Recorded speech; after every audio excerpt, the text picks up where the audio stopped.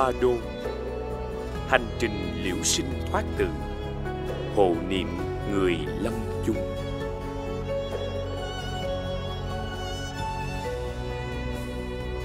Tứ vô lượng tâm, Nguyện chúng sinh đắc nhân an lạc, Sống yên vui từng chớp sát na. Nguyện chúng sinh muôn khổ lìa xa, Thoát vòng tục lụy phiền hà thế gian nguyện chúng sinh dứt khổ hân hoan. Vô lượng hỷ lạc, hào quang sáng ngời. Nguyện chúng sinh an trụ không dời, trong bình đẳng xả muôn đời vô ưu. Nguyện cầu đức pháp vương gian quang trúc ba và các bậc thượng sư giác ngộ trụ thế dài lâu. Nguyện cầu tất cả chúng sinh sống cuộc đời an lạc và tràn đầy ý nghĩa.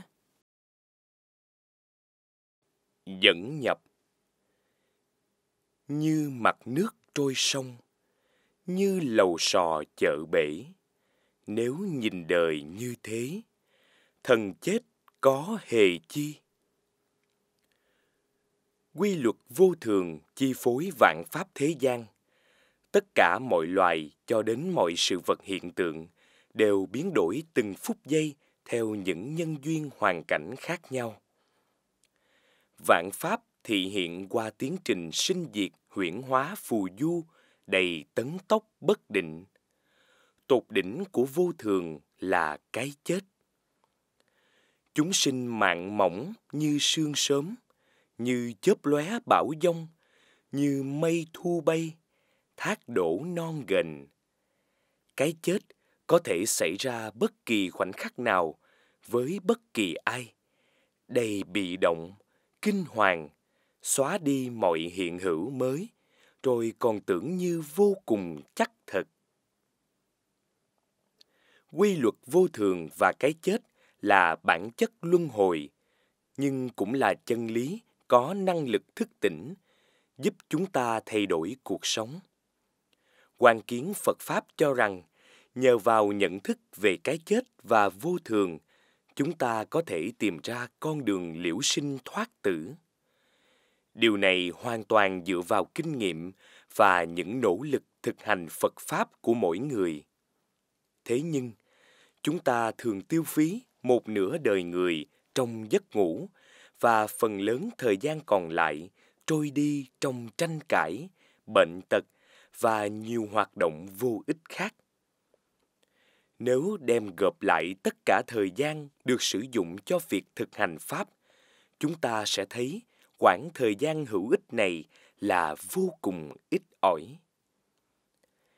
Đây chính là hiểu biết cơ bản mà chúng ta cần phải có.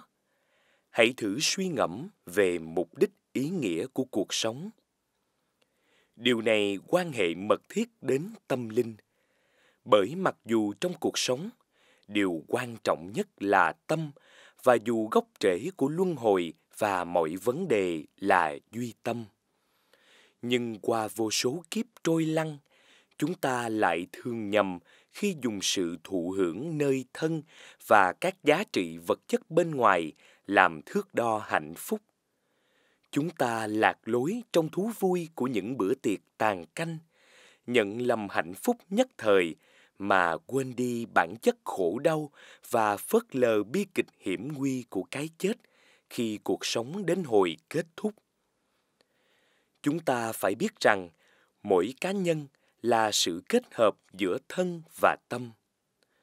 Thân bao gồm mọi khía cạnh vật lý như da, xương, máu, các chất dịch và tế bào trong cơ thể tâm không được tạo thành từ tế bào nguyên tử hay vật chất nào khác, mà bao gồm mọi trải nghiệm có ý thức của chúng ta. Những suy nghĩ, tình cảm, nhận thức, ký ức, ước mơ, hoài bão. Tuy nhiên, tâm không phải là một thứ tồn tại cố định, tĩnh tại, mà là một dòng chảy miên viễn luôn thay đổi từ khoảnh khắc này sang khoảnh khắc khác. Điều đó tạo nên muôn vẻ tâm trạng của chúng ta. Có lúc vui, lúc buồn, lúc lo lắng, hài lòng, lúc sân giận, từ bi. Khi chúng ta sống, thân và tâm có mối quan hệ phụ thuộc lẫn nhau. Mối quan hệ thân và tâm này cũng thay đổi và sẽ kết thúc khi cái chết diễn ra. Chết là thời điểm tâm thức rời khỏi thân xác. Cái chết không phải là sự chấm dứt hoàn toàn, mà là cửa ngõ dẫn tới cuộc sống khác. Nó được ví như bỏ áo cũ và mặc một chiếc áo mới. Tuy nhiên, những gì diễn ra từ đời này sang đời khác không phải là một linh hồn hay một thực thể cá nhân tồn tại vĩnh viễn mà chính là dòng tâm luôn thay đổi và không liên quan đến cá nhân cụ thể trong một cuộc đời. Dòng tâm đó sẽ mang theo những dấu vết nghiệp đã tạo khi còn sống và những hạt giống đã gieo trong quá khứ sẽ lớn lên trong tương lai. Những dấu vết nghiệp này sẽ quyết định trải nghiệm trong tương lai của chúng ta. Mỗi người chúng ta ai cũng mong cho mình có một cuộc sống vui vẻ, hạnh phúc, tạo được nhiều nghiệp tốt để có một cái chết an bình. Hay mong muốn tìm ra phương cách để chấm dứt vòng quay của sinh tử. Đức phật thích ca mâu ni dạy rằng, chỉ có con đường trưởng dưỡng sự tỉnh thức về cái chết và vô thường mới tạo nền tảng để xây dựng cuộc sống hạnh phúc tràn đầy ý nghĩa. Nếu không nhớ về cái chết và vô thường, chúng ta nghĩ rằng mình sẽ sống mãi, không cần chuẩn bị cho cái chết. Hoặc chúng ta có thể nghĩ rằng mục đích duy nhất trong đời sống là làm cho bản thân vui vẻ càng nhiều càng tốt. Thái độ sống của chúng ta trở nên thờ ơ, chểnh mãn không quan tâm tới ý nghĩa chân thực của cuộc đời và các hành động cần thiết để cuộc đời thực sự có ý nghĩa. Ý thức về cái chết thật sự quan trọng.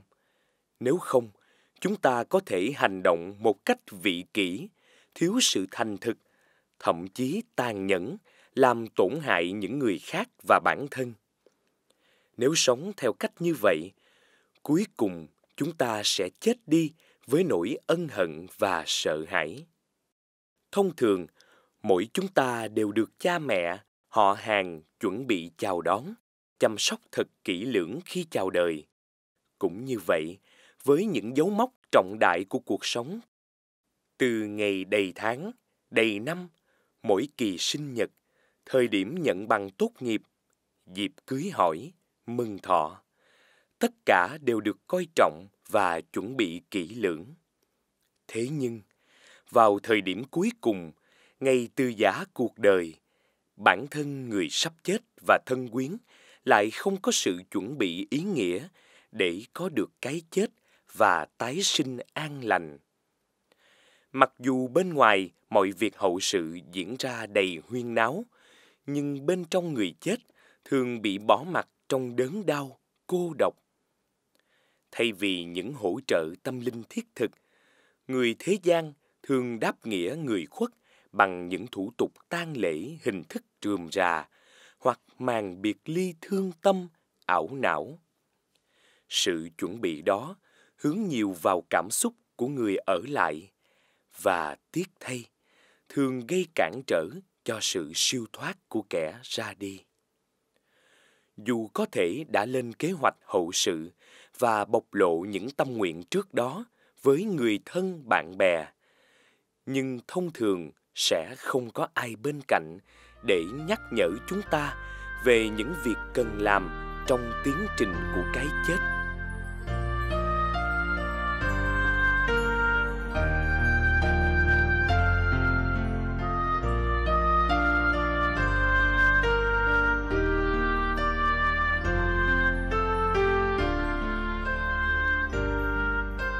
Cuốn sách bạn đang cầm trên tay đề cập tới hành trình liễu sinh thoát tử qua các phương tiện của hộ niệm hộ tức là bảo hộ trợ giúp Niệm là tinh thần, tư tưởng. Hộ niệm nghĩa là tìm cách bảo vệ, hộ trì, nâng đỡ tinh thần người chết. Trên thực tế, thời điểm chết cũng như thời điểm chào đời là hai mốc thời gian rất cần sự trợ giúp. Thời điểm mở đầu và chấm dứt một cuộc đời vốn rất mong manh, dễ bị xâm hại, nhưng cũng mang theo những cơ hội tuyệt vời. Bởi chúng ta đến với cuộc đời và trở về với tự tính tâm. Cái chết tự thân nó mang theo thông điệp giải thoát vĩ đại. Vì lý do trên, rất nhiều người quan tâm đến giáo lý đạo Phật, đặc biệt là giáo lý Phật giáo Kim Cương Thừa, bởi truyền thống này chứa đựng kho tàng khai thị sâu sắc, đầy minh triết về vô thường, cái chết và sự giải thoát. Từ những tác phẩm ý nghĩa và nền tảng trong quá khứ như Tạng thư sinh tử đến những luận giảng chi tiết về giáo lý ba đô của những bậc thượng sư giác ngộ như Đức Pháp Vương Giang Quang Trúc Ba. Toàn bộ là những khai thị quý giá về tiến trình sống chết và quan trọng hơn là giáo pháp để chiến thắng nỗi sợ hãi trước cái chết và thành tựu giác ngộ, đích đến cao nhất trong hành trình tâm linh của mỗi người trong vô số kiếp. Ngay lúc này, xin bạn hãy ghi nhớ sự chuẩn bị cho cái chết. Hay việc hộ niệm người chết không chỉ nằm ở những nghi thức bên ngoài, mà quan trọng hơn đó là việc đạt được hiểu biết đúng đắn, cũng như thành thục các pháp tu tập thực hành khi đang còn sống. Người nào biết sống một cách tỉnh thức thì sẽ chết an bình chỉ khi trang bị được đầy đủ những tư lương đó chúng ta mới có được tâm thái an định tĩnh tại để sẵn sàng đối mặt với cái chết dù đó là cái chết của chính mình hay người thân yêu chỉ khi đó sự hộ niệm mới thực sự hiệu quả viên mãn công đức và đem lại lợi ích giải thoát theo mạch này nội dung cuốn sách sẽ bao gồm bốn phần. Trong phần một, sống an lạc nhờ tỉnh thức về bản chất đời sống và cái chết. Chúng ta làm quen với những yếu tố nền tảng quyết định sự sống, cái chết theo quan kiến Phật giáo. Điều đó có liên quan tới sự giải thích về tái sinh và luân hồi dựa trên giáo lý về tâm hay vạn pháp duy tâm. Tri thức này dẫn chúng ta đến hiểu biết về tiến trình ba đô cũng như cơ hội siêu việt cái chết mà mỗi ba đô mở ra cho hành giả thực hành Phật Pháp.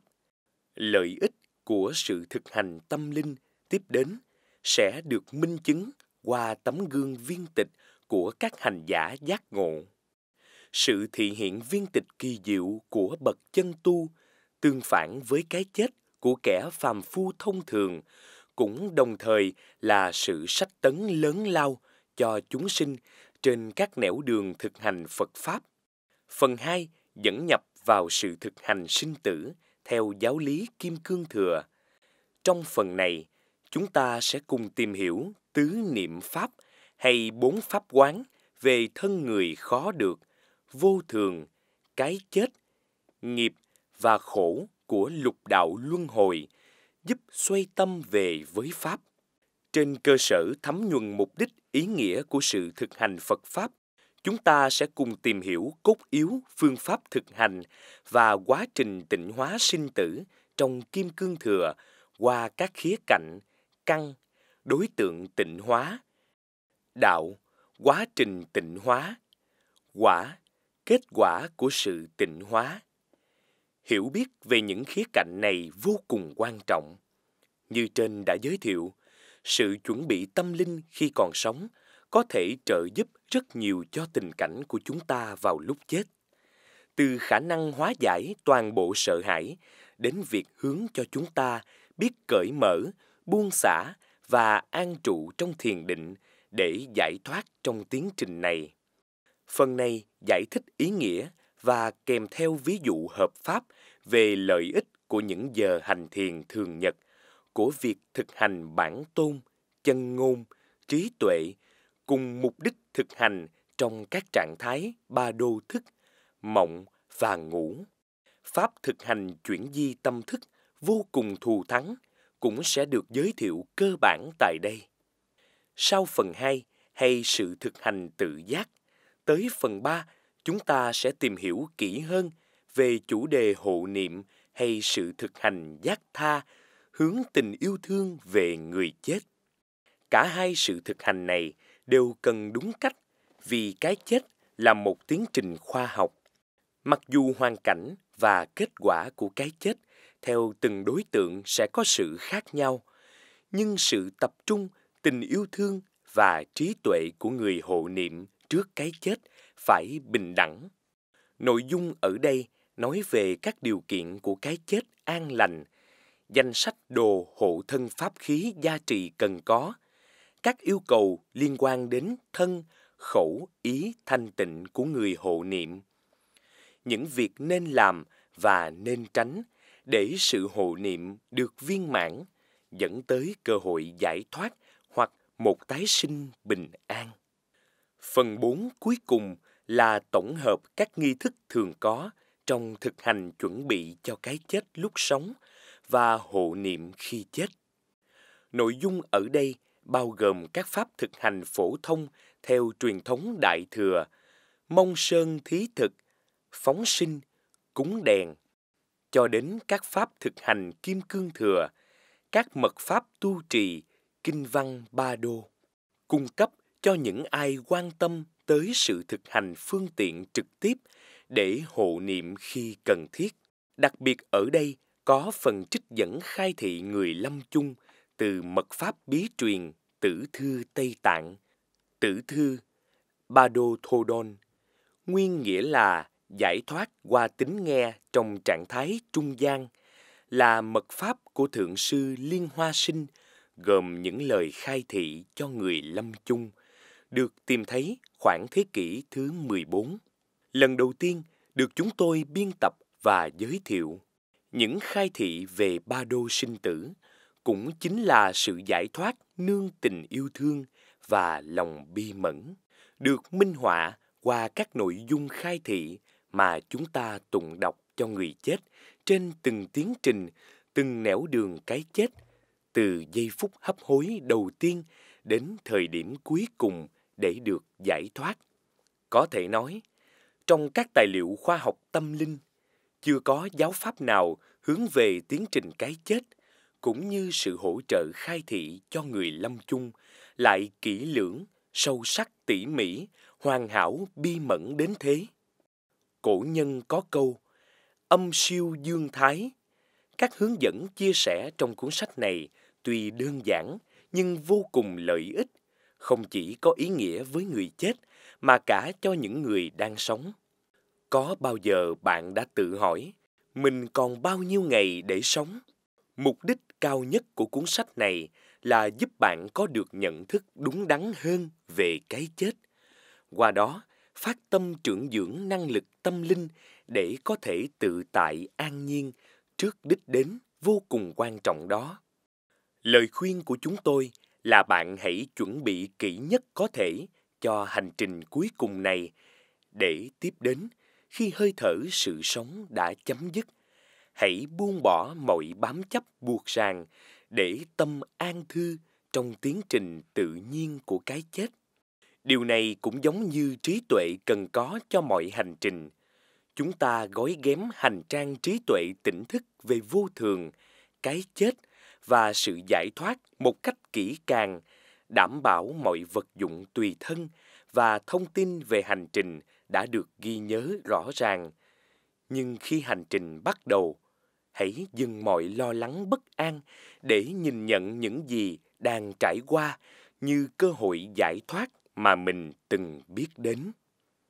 Cuốn sách sử dụng nhiều tư liệu lấy từ Ba Đô, bí mật nghệ thuật sinh tử, một ấn phẩm của Đức Pháp Vương Giang Quang Trúc Ba do Trúc Ba Việt Nam biên dịch phát hành trong năm 2012. Bạn đọc có thể tìm thấy nhiều điểm tương đồng về cấu trúc và nội dung biên tập giữa hai ấn phẩm này trong khi tác phẩm của Đức Pháp Vương thực sự là cuốn bách khoa trí tuệ về nghệ thuật sinh tử. Nội dung ấn phẩm này lại muốn nhấn mạnh nhiều hơn vào khía cạnh thực hành, giúp chúng ta trang bị tư lương cần thiết để hộ niệm cho mình và cho người trước cái chết. Cái chết cuốn trôi nhưng không rửa sạch được dấu ấn tiêu cực của cuộc đời đã qua. Thật may mắn là sự thực hành tâm linh sẽ giúp chúng ta tịnh hóa được điều đó. Do sở học hạn chế mà Phật Pháp thậm thâm vi diệu, chúng tôi chân thành tạ lỗi cho mọi sai sót về nội dung và hình thức của cuốn sách và mong nguyện nhận được nhiều góp ý nhằm kiện toàn nội dung trong lần tái bản tới. Nguyện đem công đức này hồi hướng đến tất cả chúng sinh trong luân hồi và cảnh trung giới được vô úy, tự tại siêu thoát. Tất cả khổ não hữu tình vượt biển sinh tử đến bờ giải thoát viên mãn giác ngộ. Chúc ba Việt Nam. Om Banjara Sato Samaya Manapalaya. Banjara Sato Tino Patitha Tado Me Bawa Sato kayo me bawa, sapo me bawa, anarato me bawa, sarwa.